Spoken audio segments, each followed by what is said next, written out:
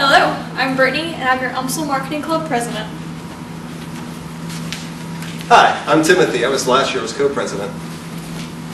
Hi, I'm Perry Drake. I'm the faculty advisor. This year, we will be forming a collegiate chapter of the American Marketing Association. With this will come several opportunities such as networking, luncheons, and mentoring. And thanks to the Archdiocese of St. Louis, uh, the membership to the American Marketing Association will be at a great discount. So, what did we do last year? So, last year we participated in the AMA's speed networking. What is that, you ask?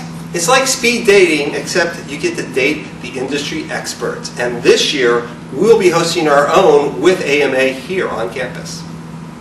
Last semester, we also had an industry visit with Bonfire, which is a really cool startup here in St. Louis in the mobile app world. Perry, you forgot the most important part. Urban Chestnut provided the brew for last year's event. Perry, you also forgot that we awarded the SCORE Scholarship to Samita Rao at the event. And we also visited LockerDome, which is like Facebook for the sports celebrities. What they do is they set up lockers and they feed all their social media into the lockers, and then LockerDome helps the sports celebrities engage with the sports fans. That was really an awesome visit. We also had a visit from Kim Wells from Scottrade. So guys, tell me what we have lined up for this semester. Well, Perry, one of the first things we'll be doing this semester is visiting T-Rex, a really awesome startup incubator in downtown St. Louis. We also have a planned visit with Switch, a user experience agency. I'm looking forward to checking out their 3D printer.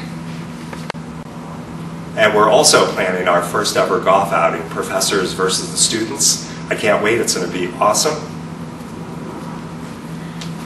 Four!